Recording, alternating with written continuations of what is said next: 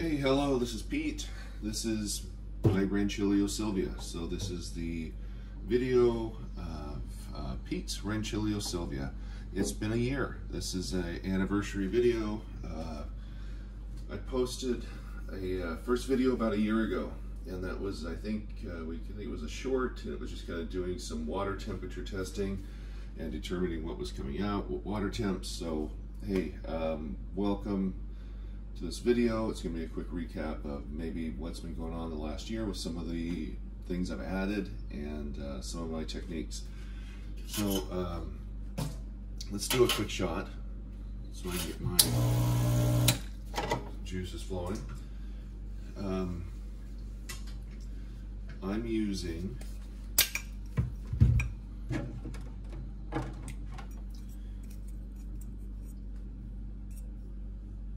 a basket. Uh, these would be Rancilio baskets. It's a 401000103.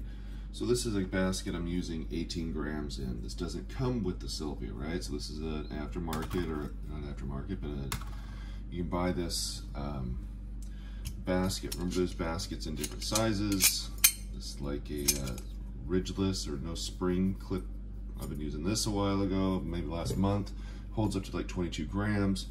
I'm switching back to the smaller, the 18. I feel like um, some of this is an IMS uh, basket.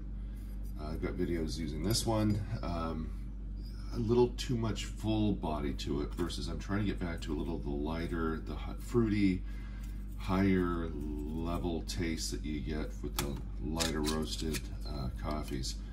Um, so you guys are aware, there's tons of different baskets. One thing I would suggest is upgrading to getting rid of the little plastic disc for doing back flushing and just get a real metal one, again, something you'd have to purchase.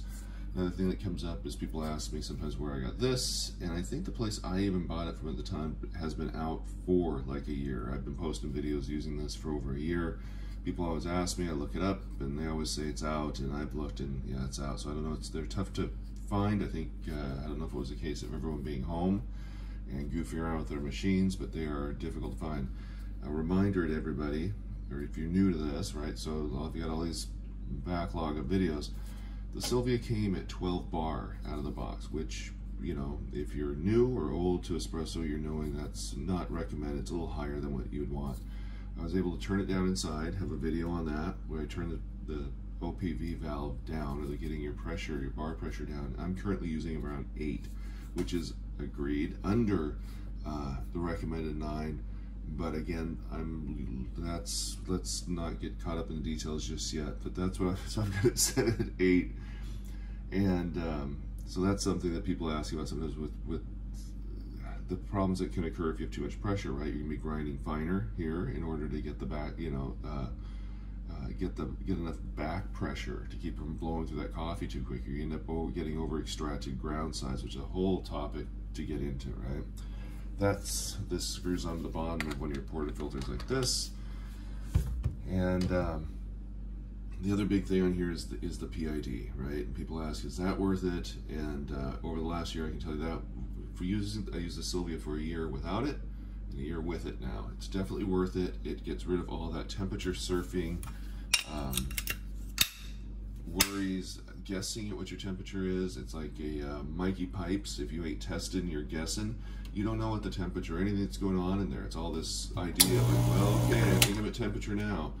And that's, you know, that's not ideal. If you can improve that, why wouldn't you, right? And I get it that you shouldn't have to, or there's 50, that's not the talk we're having, right? So a change it is the PID, installed it, it's been working great for a year. People ask about that all the time, and that's fantastic. And it does work correctly. It throws people off that I still use these switches instead of the PID, but that's the way this one is set up. And that's a whole video and a discussion we can have on that, which is great. Um, so PID'd it, adjusted the back pressure, and these aren't big deals. I mean, this is, uh, I understand I don't feel like I have a $20,000 espresso machine here.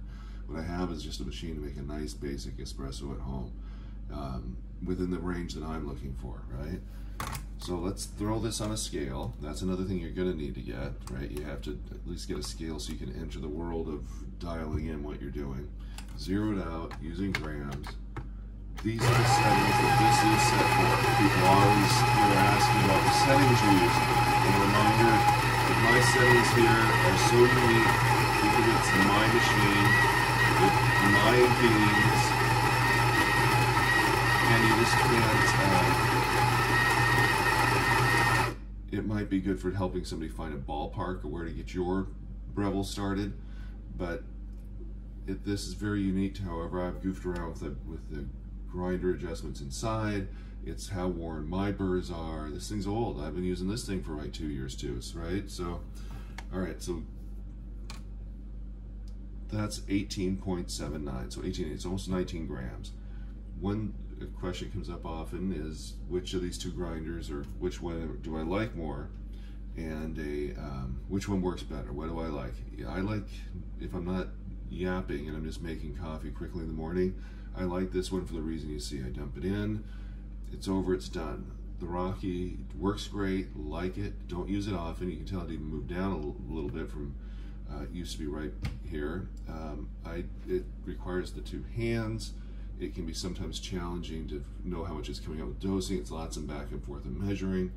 Um, I recently re replaced the burrs in it, I did a video on that. It was fantastic. Um, but to keep in mind, the Breville, I don't notice a huge taste difference, if at all. I wouldn't be able to really tell. I'd be, I'd be guessing, likely. Um, so that's something to think about too. So the Breville works great. Um, Something I've added too is the dosing ring, which I would use if I was using the Rocky. In a spot like this, I put it on top, use the distribution tool, right? And uh, one thing you don't want to do, I saw a TV, uh, a little one of those news stories they do, the cost of coffee increasing and everything, you know, they showed a barista uh, go from this directly to the tamp, right? And uh, you know that's not something you want to do. We, we know we don't want to do that. We also kind of know you can do whatever you want at home, but at Pete's, Rancilio Silvia, I've gone, like we said, it's been a couple year journey of getting all this stuff. You don't shake it, you don't pound it a lot, right? Doing these weird things.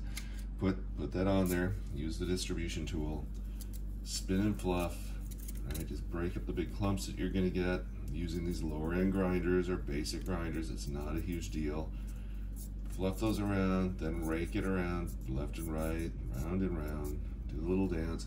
You end up with something some little flat like that. Now give it a little tap. Remove your dosing ring. You have a reasonably decent bed top, right? We're not going crazy. Calibrated tamper I added, and that's to, uh, again, consistency is a big part of this. This gives you a consistent temperature, right? This is gonna give you a reasonably consistent grind. You're measuring it, to get a consistent grind uh, tamping pressure. Yeah, I get it. You don't have to push hard. You can do. You don't need any of this stuff, right? Here, I guess we could go into what do you really need, right? Versus things that make the whole process a lot easier and repeatable. The tamp, simple. Put it in there. You want to make sure that it's sitting flush. Use your fingers. You can go around the outside edge. Make edge. Make sure you're not going at some weird angle.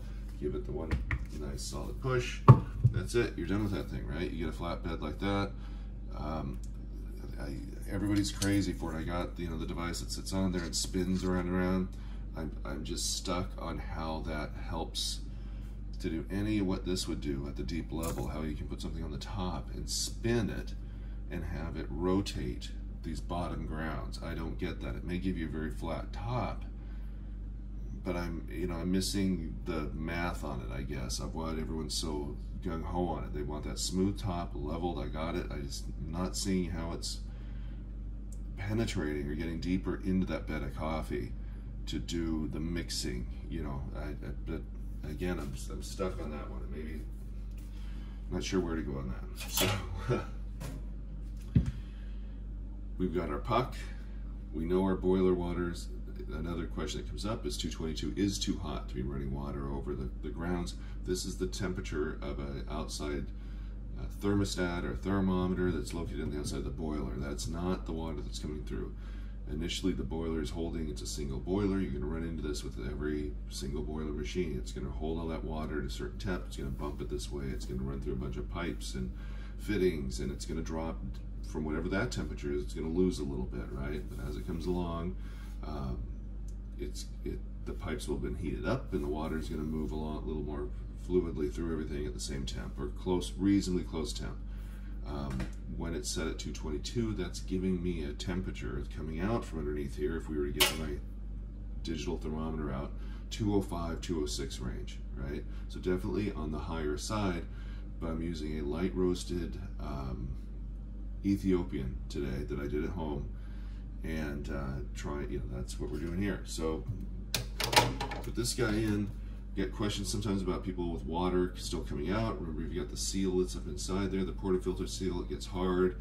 Uh, you have to replace that thing once in a while, make sure it goes in. Then when after you do get a new one, make sure it's, you know, it's snug, it's gotta be tight, right? Let's use the scale.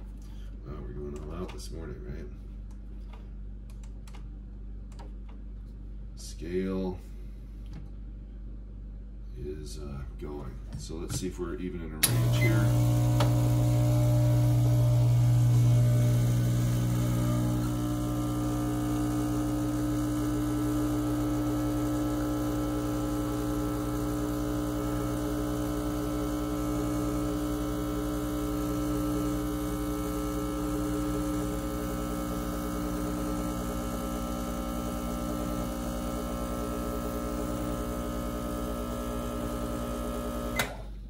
There's our 38, 39. We just turned over 39. So we're in the zone is what I would call it there. You get a decent uh, looking shot there, decent crema at the top, not overloaded. Roasted those a few days ago, have five or something, so that's definitely on the fresh side. A good idea of interest to do is to pull out your portafilter and puck, look at the top, look for glaringly obvious, you know, places where maybe you had um, uh, some channeling that was going on. That's another, wow, that's another big issue if it comes on. You can kind of peek around in here. You may have, who knows, I don't see big sprays. There's any, the people get nuts about that too.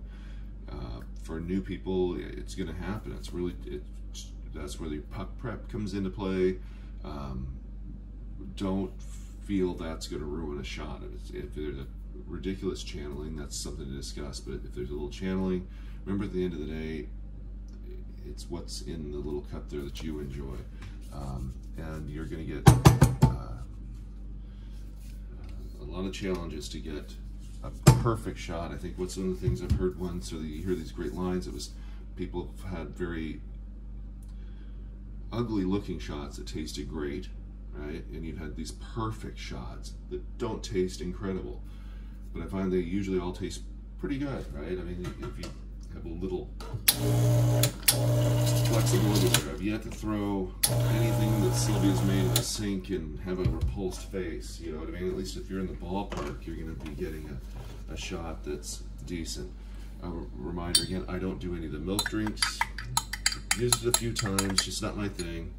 I'm into the coffee. I enjoy the bean, the flavor, the taste, uh, staying really just traditional with an espresso style, which I've heard is, you know, we know isn't really an espresso style, what we're doing here. It's a little more flexible.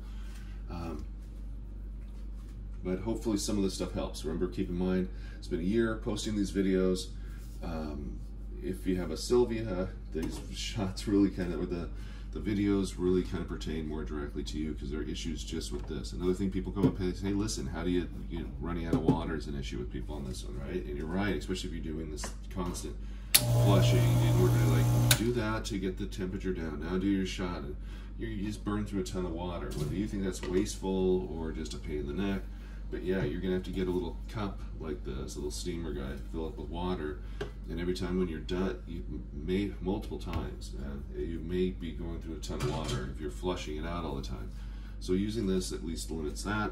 Um, that keeps your temperature a little more solid. Your back pressure, you've got to check that. It's not going to do any good for you to be trying to make shots if the pressure is so high right? That you're grinding fine here, and you're like, geez, I just keep getting this over extracted taste, or I feel like that's what's happening, or or you have a grinder you say I can't get it fine enough to, to use here. Well, if this is pumping out too much, find a way to turn it down if if you'd like to do that.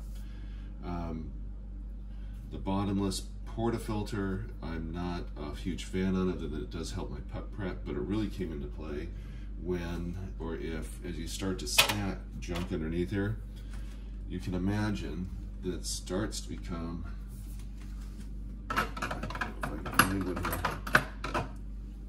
just a little challenging for, for the room, right? You, know, you always see these videos, people turning stuff sideways and twisting, and, and I, again, we're back to stuff. I want to have a nice, easy shot in the morning when I first get going. I don't want to, and I don't always do, excuse me, I don't always use the timer and scale. Once I get this zoned in where we saw it came in at what, 18.8 or almost 19 today, I'm not going to change that unless something dramatically happens. I'll use the timer to keep in a zone at the most, but often I'll just eyeball where that ends up. Tastes great to me, makes me happy. I didn't get into this in order to be, you know, measuring and but unfortunately a pinch of it is required in order to make sure you're on the right track. So think about if you have a Silvia, and again, I'm going to tell you, yeah, lots of input and advice for people who don't have a Silvia, um, but this is more geared towards if you have one at home and you're working to improve your coffee game, that's the information I'm trying to share, or even get back from other people. I get great tips and help from other people. See the temperature's creeping up. We just started this thing up. This is the second shot of the day. Um, we're um, warming everything up. It's finding its happy place. It'll wiggle back down where it needs to be because it's probably overshot a little bit. It'll get where it needs to go.